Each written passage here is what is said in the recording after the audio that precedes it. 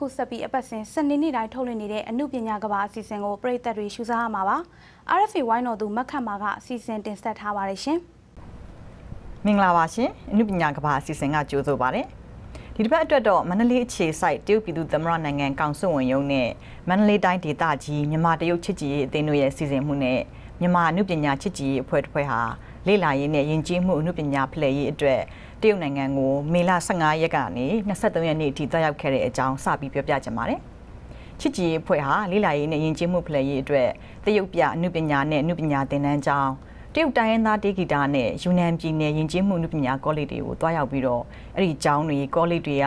ကျောင်းသားကျောင်းသူတွေတင်ဆက်တဲ့ရိုးရာရင်းအကဘာဂျွန်အော်ပရာဇလန်းနဲ့ရိုးရာဂီတဖျော်ဖြေမှုတွေကိုလေ့လာကြည့်ရှုခဲ့ကြပါတယ်။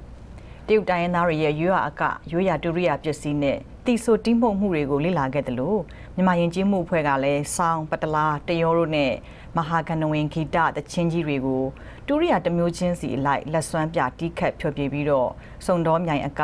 မြိုင်ဓာနှစ်ပါးသောအက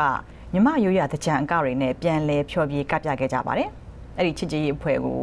စာရေးဆရာရီတာစုငှက်ကဥဆောင်ပြီးတော့မန္တလေးဂီတမိတ်အနုပညာသင်တန်းကျောင်းတာဝန်ခံဦးပါရမီရှွန်း မန္တလေးပန်ဒရာနဲ့အမှုပညာသင်တန်းကျောင်းအကနီးပြဆရာမဟောင်းဒေါခင်ဝင်းတွင်လာမင်းတရားအငိမ့်အဖွဲ့တည်ထောင်သူအကပညာရှင်ဒေါ်ထထမြင့်ဆိုင်းပညာရှင်ဦးစိန်တင့်လွင်မြမဆောင်းကောင်းတဲ့အဆိုပညာရှင်ဒေါခင်မြလွင်ဇက်သပင်ပညာရှင်မင်းသားကိုဝင်းရန်ဦးတို့အပါအဝင်အဖွဲ့ဝင်12ဦးလိုက်ပါသွားခဲ့ကြပါတယ်ရှင်။ စာရေးဆရာဒါရိုက်တာဦးဝင်းဖေရဲ့လွန်ခဲ့တဲ့55နှစ်ကဝင်းဖေဤကတ်တွန်းများဆိုတဲ့ပြပွဲကိုဇွန်လ12ရက်နေ့ကနေ16ရက်နေ့အထိ Think Art Gallery မှာကျင်းပနေပါတယ်။ဦးဝင်းဖေဟာအနုပညာမျိုးရိုးကနေဆင်းသက်လာခဲ့သူဖြစ်ပြီးတော့ငယ်စဉ်ကတည်းကနေဖခင်ရဲ့မတင်မနေရပြဋ္ဌာန်းချက်ကြောင့်မဟာဂီတအစိုးအတီးနဲ့ပကြီးရေးဆွဲနည်းပညာတွေကိုလေ့လာစီးပူခဲ့ရတယ်လို့ဆိုပါတယ်။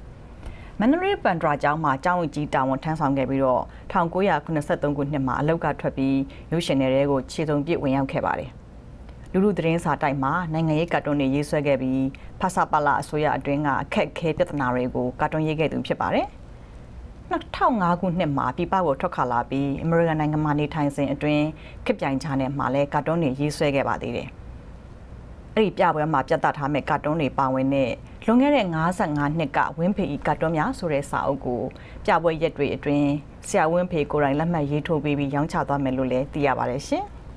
။ဇွန်လ9ရက်နေ့မှာကြာရွတ်တဲ့ကမ္ဘာပတ်ဝန်းကျင်နေ့အထိမ်းအမှတ်နဲ့ခုနှစ်ကြိမ်မြောက်လူမှုအကျိုးပြုလူငယ်များတွဲဆုံပွဲအဖြစ်ရှမ်းပြည်နယ်ဟိုပုံးမြို့နောင်တောင်းဖွင့်တော်ကြီးကျောင်းမှာကြပြရွတ်ဆိုပွဲ performance သရုပ်ပြပွဲနဲ့တစ်ပင်စိုက်ပွဲလှုပ်ရှားမှုတွေပြုလုပ်ခဲ့ကြပါတယ်။အဲ့ဒီပွဲမှာကြပြဆရာတွေဖြစ်တဲ့မောင်ဆောင်ခ မင်းရီသွေးခိုင်လင်းညင်းအောင်ပန်းကိုစီနတ်ဆိုးဟန်နွေလဥက္ကာလင်းနီသွေးနဲ့မိုးတစ်ထွန်းတို့ကငိမ့်ချင်ရေးကြပြားတွေရွတ်ဆိုခဲ့ကြပါတယ်ကမ္ဘာပတ်ဝန်းကျင်နေ့အထိမ်းအမှတ်နဲ့ခုနှစ်ကြိမ်မြောက်လူမှုအကျိုးပြုလူငယ်များတွေ့ဆုံပွဲကို9ရက်ကြာကျင်းပခဲ့တာဖြစ်ပြီးတော့ကြပြချစ်သူများအသင်းဝင်ကြပြဆရာတွေအပါအဝင်ကြပြဆရာဆရာယောက်ကကြပြတွေရွတ်ဆိုခဲ့ကြတာဖြစ်ပါတယ်လူမှုအကျိုးပြုလူငယ်များအဖွဲ့ကိုလူမှုအကျိုးပြုလုပ်ငန်းတွေမှာ